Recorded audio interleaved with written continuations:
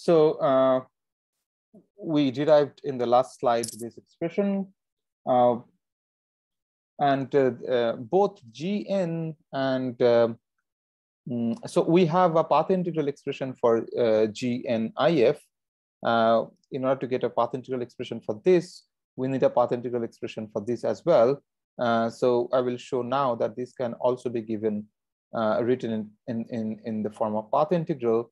Um, so that is given by the matrix element. So let's consider the matrix element, uh, compute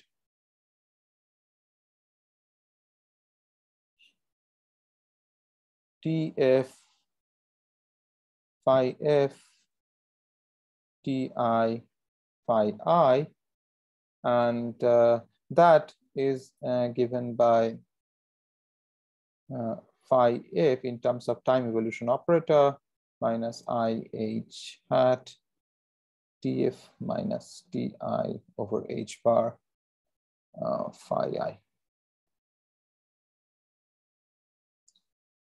Okay.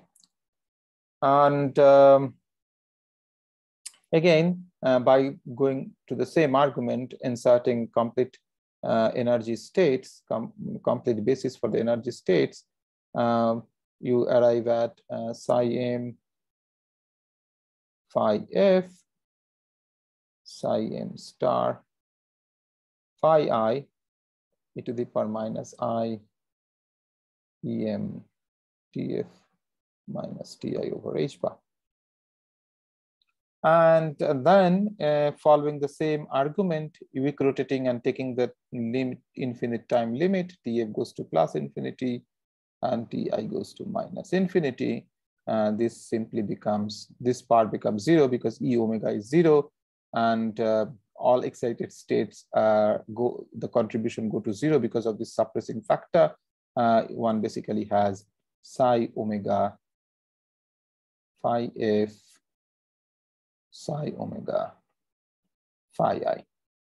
So the final result therefore for the N-point function uh, which we have defined to be the vacuum expectation value of the time order product of uh, insertions is given by the future infinity phi f time order product of phi hat x1 to phi hat xn.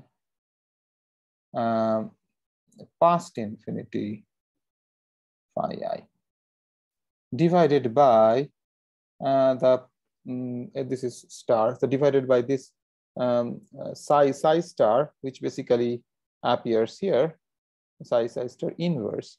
So, um, so that is this matrix element uh, in the infinite time limit. So that is infinite, infinite, future infinity phi f, uh, past infinity phi i.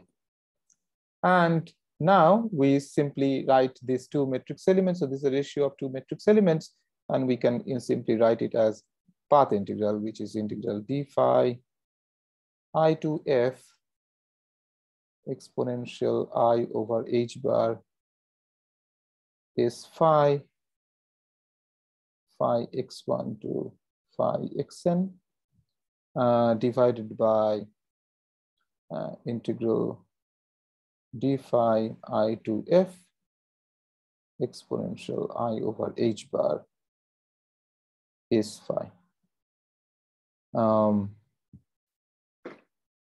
where s of phi is given by integral dt minus infinity to plus infinity integral dx vector times Lagrangian density.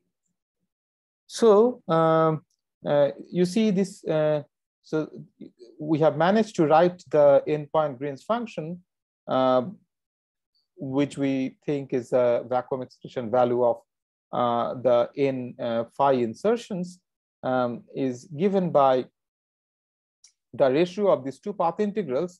Each of them uh, depend on the boundary condition. There are specific boundary conditions, but Gn does not have a specification of a boundary condition. So this must be independent. The ratio must be independent of the boundary conditions. So both numerator and denominator explicitly depend on uh, boundary condition, but not the ratio. So both numerator and denominator explicitly depend on boundary condition but not the ratio.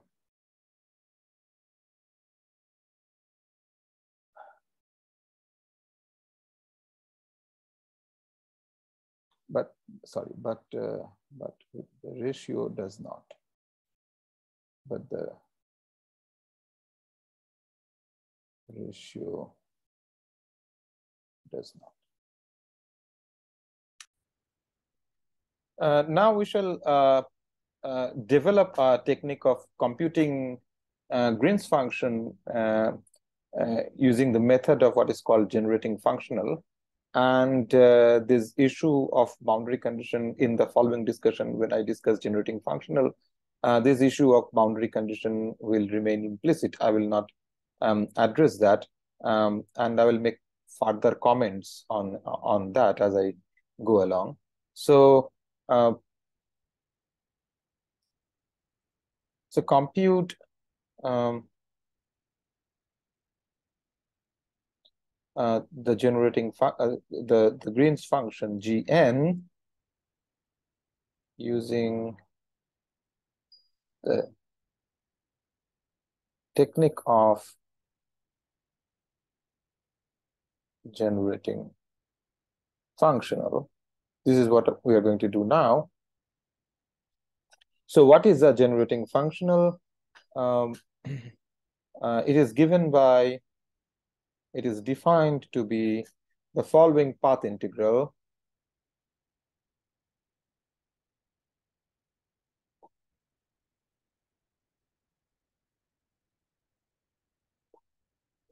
uh, divided by d phi exponential i over h bar s phi. Uh, where this s phi j is given by L plus h bar j phi. Um, uh, uh, I think uh, I have already uh, uh, explained this notation. This notation is this notation is nothing but um, this this uh, indicates that there is an integration. Uh, this bracket indicates that there is an integration over the argument. So these are functions of x, and this is like d 4 x. So so this is um, ddx fixed. Okay. Now J here is uh, called an external field external source, it is an external source. It does not have any dynamics.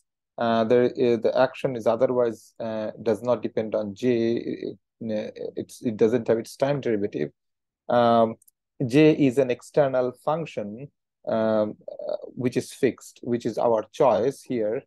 Um, and um, it's a scalar field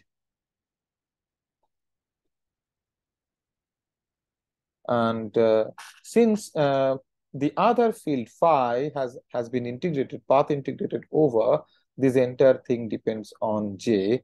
Uh, and the dependence is the functional dependence because um, because because this j goes under the integration so the entire j function goes in the input um, in order to produce a value for wj and because it is integrated over um, now, uh, this generating, uh, the claim is that uh, this gn, the generating functional encodes uh, all these gn's, uh, the, the uh, Green's function, and we shall see that is the case, okay? Now, um, as I mentioned that um, in our in my discussion, this boundary condition issue will remain implicit. we will see that there is a formula uh, so Wj, uh, it looks like it does not depend on the boundary condition in any, any way. We will cook up a formula. We will derive a formula for Gn in, in terms of Wj. But in order to calculate Wj, I have to calculate this path integral. And this path integral, for this path integral, I have to put certain boundary conditions. We will eventually compute, uh, uh, uh, we have to choose boundary conditions for that. And we'll eventually compute Wj using Fourier transform and uh, that will implicitly assume certain boundary behavior. And um, I would encourage you to think about it, how exactly the boundary condition is being chosen uh, when we calculate. We will calculate it in the next lecture. Um, I will encourage you to uh, think uh, in the, in the next lecture when we calculate it using Fourier transformation, we will not uh, address the boundary conditions, but it is implicitly assumed that certain boundary behavior uh, must be required in order for that analysis to go through. And I would encourage you to uh, think about that, um, uh, how that is happening. Okay, now, so how do I show that uh, um, uh, this Wj uh, encodes all these Gn is the next question to ask. So all you need to do is to calculate, all you need to do is to Taylor expand Wj Taylor expand Wj around j equals 0. Hmm? Then Wj will be given by sum over n equal to 0 to infinity, 1 over factorial n uh, Wn x1 to xn jx1 to jxn. And this uh, has integration over all these x1 to xn. These are the integration variables.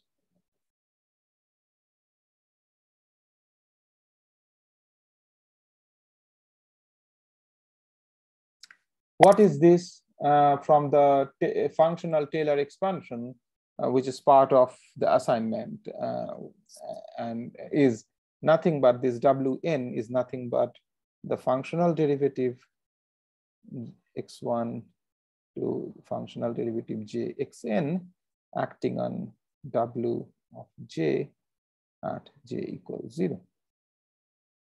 Now let us calculate um, what is this given the path integral definition of wj. Let us calculate what are what is the functional derivative of j calculated at j equal to 0. So let us calculate that.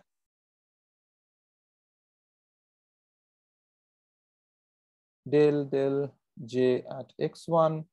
Uh, so j dependence in wj, j dependence is only upstairs, right? The, this one is just like a constant factor as far as j derivative is concerned. So we just calculate the j derivative of the numerator, uh, which is integral d phi exponential i by h bar s of phi plus i j phi. Okay. Now this factor is j independent, so the j derivative will act on this factor. So this is given by integral d phi exponential i by h bar s phi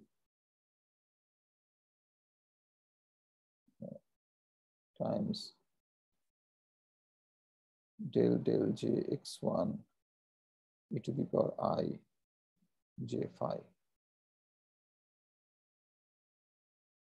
If you calculate this, what it means is that just like the usual derivative of an exponential function, it is this same exponential function times um, derivative of, uh, of of this exponent with respect to the with respect to uh, j x1 and the exponent is nothing but i times d4y jy phi y.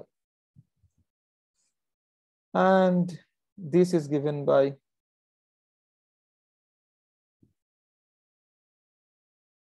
i j phi uh, times i d4y delta 4 y minus x1 phi y. And that is, this is nothing but phi of x1. So i times phi at x1 times e to the power i j phi. Okay. So given this, uh, this result of this derivative is nothing but um, integral d phi e to the exponential i by h bar is phi plus i j phi i phi x1.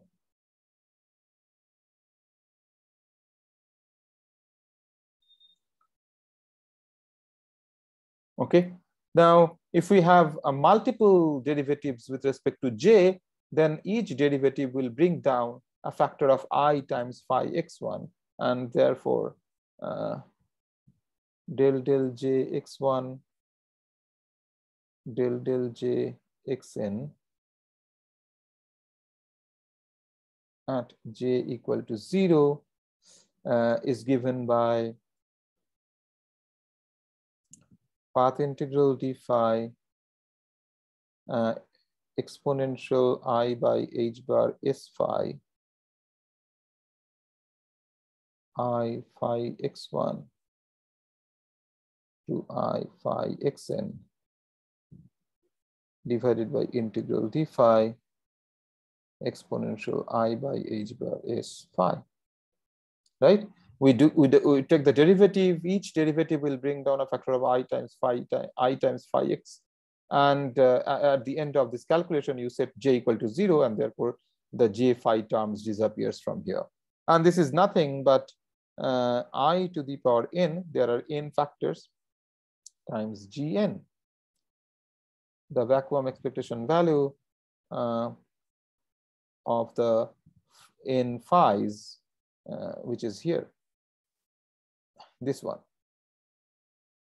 This is gn. This is this expression is the same as this expression. Hmm? So, uh, therefore, uh, we arrive at a conclusion that gn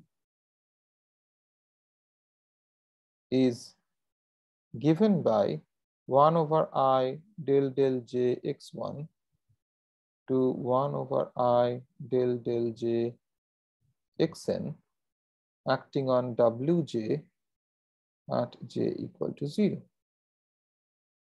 That's what it is. Uh, basically, this is the reason why wj is called a generating function. This is a generating function for the for the N-point Green's function.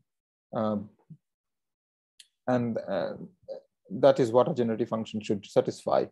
Um, um, so in the next lecture, as I mentioned earlier, we'll see how to calculate Wj using Fourier transform. And uh, I made those comments earlier. Let me let me explicitly uh, write it uh, here um, about the boundary condition. So this uh, uh, will be calculated um, using Fourier transformation. Um, that that procedure automatically or implicitly um, assume um, the boundary behavior.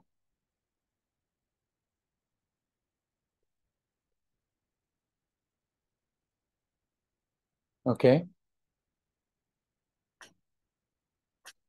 So that's about it.